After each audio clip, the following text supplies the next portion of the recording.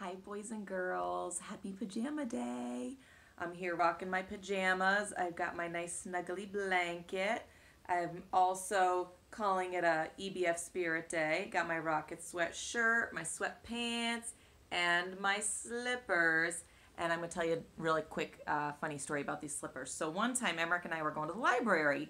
We were going to listen to this talk about the Red Rock Dam and how they've been building it and the water power and everything. So, you know, we get in the car, we drive down to the library, we get out, we go in, we sit down, and I look down at my feet, and lo and behold, this is what I'm wearing.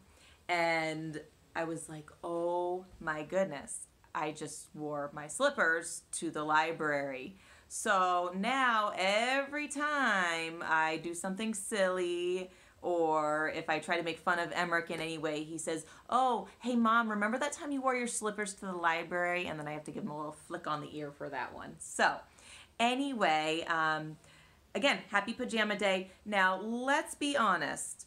I'm sure you've probably had one or more pajama days already since we've been out of school. R- raise your hand. Be honest. Come on. I, I know. I know that there have probably been some days where we haven't really wanted to get out of our pajamas, where we've been wearing our sweats and our sweatshirts and just being comfy. So, in honor of Pajama Day, I am going to read a book that is probably a little bit young for some of you, but you could also show this to younger brothers or sisters if you have them. Um, and you can just enjoy it because it's fun to read stories that we've already heard. So we have got Llama Llama Red Pajama. Uh, Abraham loves the Llama Llama stories, every single one of them. So this is one that we read a lot along with all the other ones too. So Llama Llama Red Pajama by Anna Dewdney.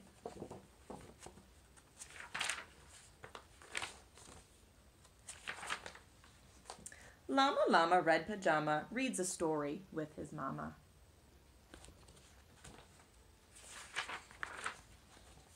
Mama kisses baby's hair. Mama Llama goes downstairs.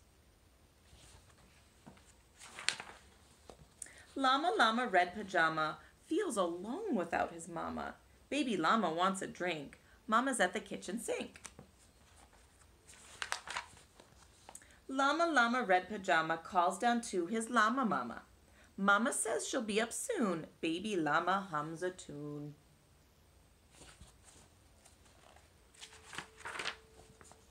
Llama Llama Red Pajama waiting, waiting for his mama.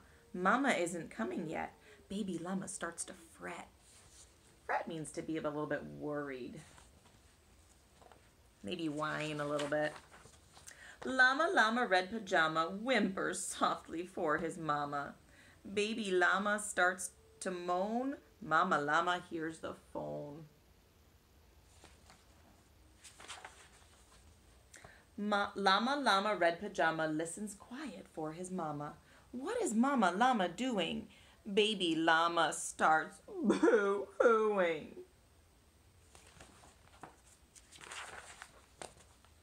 Llama Llama Red Pajama hollers loudly for his mama. Baby Llama stomps and pouts. Baby Llama jumps and shouts. Ooh. Do you know anybody that's like that at bedtime? Llama Llama Red Pajama in the dark without his mama. Eyes wide open, covers drawn. What if Mama Llama's gone?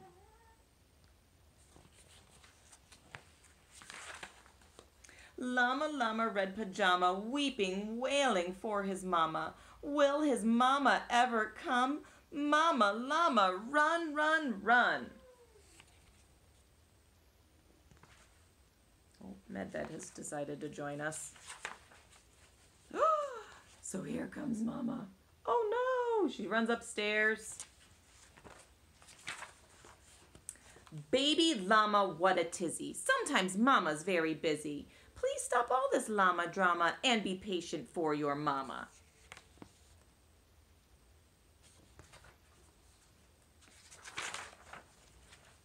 Little llama, don't you know, Mama Llama loves you so. Mama Llama's always near, even if she's not right here.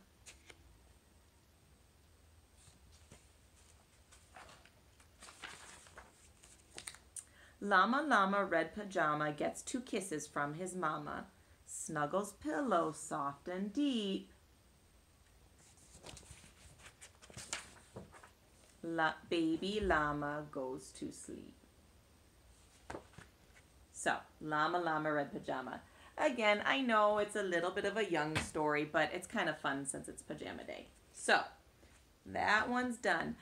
I've actually got three stories for you today because they're a little bit shorter, so I thought I could do a little bit more. This one's called The Napping House. Since usually when we're wearing our pajamas, we are going to sleep, so I thought I could read a little story about going to sleep, just like Medved is now kind of going to sleep on my lap. So if my arm bumps, it's his fault. Blame it on the cat. That's what I always say. So this is called The Napping House, and it's by Aubrey, Audrey Wood, and the illustrations are by Don Wood.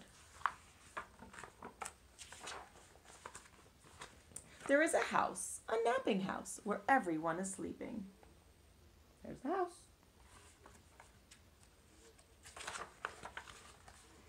And in that house, there is a bed, a cozy bed in a napping house where everyone is sleeping.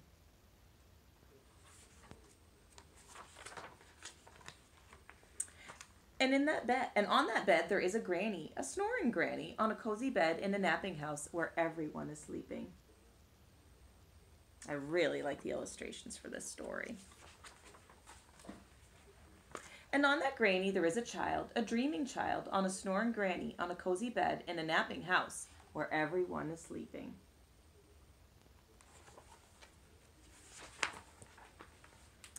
And on that child, there is a dog, a dozing dog, on a dreaming child, on a snoring granny, on a cozy bed in a napping house where everyone is sleeping.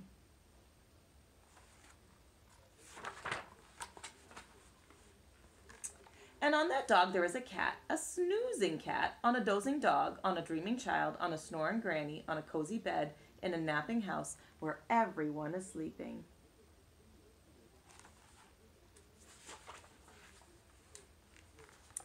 And on that cat, there is a mouse, a slumbering mouse, on a snoozing cat, on a dozing dog, on a dreaming child, on a snoring granny, on a cozy bed, in a napping house where everyone is sleeping.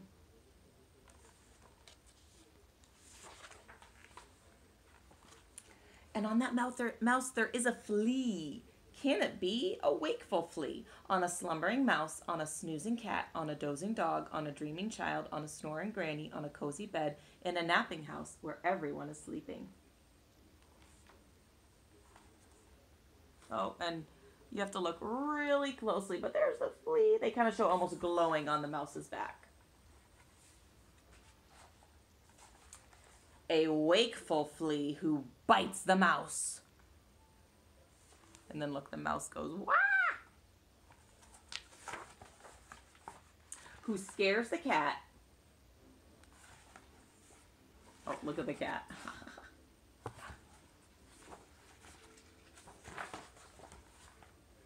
Who claws the dog.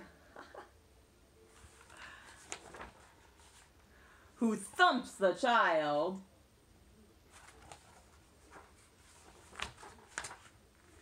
Who bumps the granny?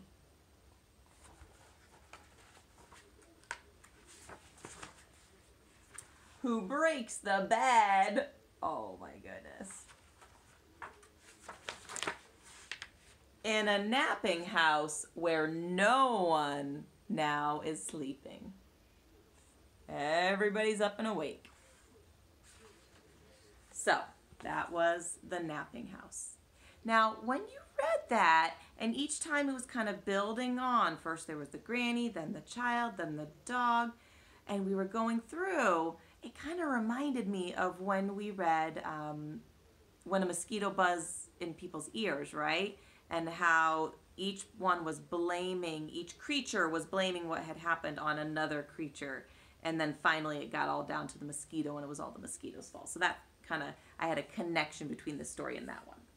And the last one, because I miss you guys so much and I wish we could be together and because I love you, I'm going to read you a story called the I Love You book by Todd Parr. Now, his books are super cute, super fun, really bright, colorful illustrations, and so I have several of these too. But this one's called the I Love You book. I love you or when you I love you when you are silly. They're playing peekaboo. I love you when you are sad.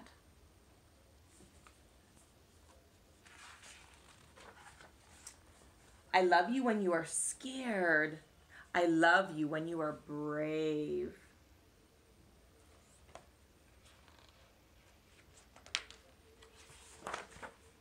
I love you when I am away. I love you when we are cuddled up close.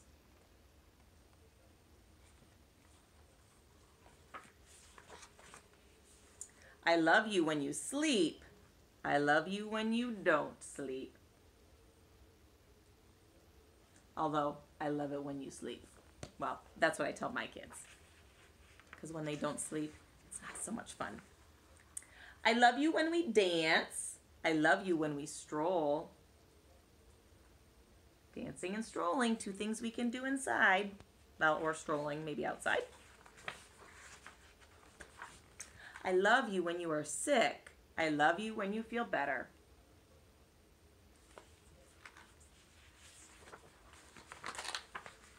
I love you when you give me kisses. I love you when you need hugs.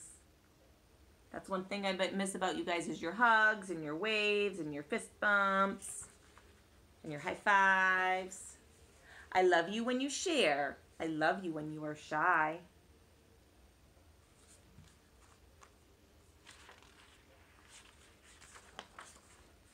I love you when you hide my keys. I love you when you find new friends. One time when Emmerich was young, I lost my keys and I found them in my snow boot. Hmm, who put them there? I love you when you are stinky. I love you when you are squeaky clean.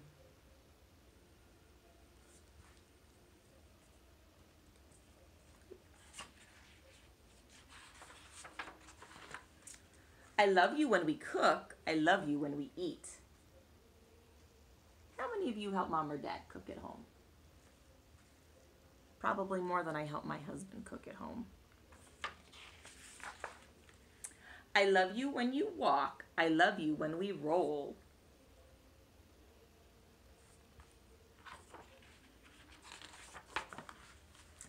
Most of all, I love you just the way you are.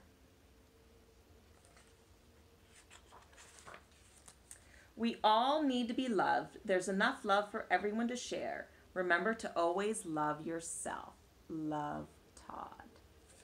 So, just for you, because I love you, there is the I Love You book. So, I hope you all have a wonderful weekend, okay? Medved says goodbye. Um, remember, I love you. Be safe. Wash your hands. And I hope that I will get to see you soon. So I love you all. And I'll see you next week.